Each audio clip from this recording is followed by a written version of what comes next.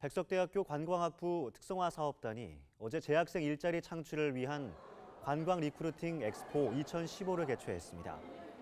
작년에 이어 올해 두 번째 진행되는 관광 recruiting 엑스포에는 국내외 호텔과 여행사, 외식업체 인사 담당자들이 직접 참여해서 채용 정보는 물론 업체 홍보와 채용 상담 등을 제공했습니다.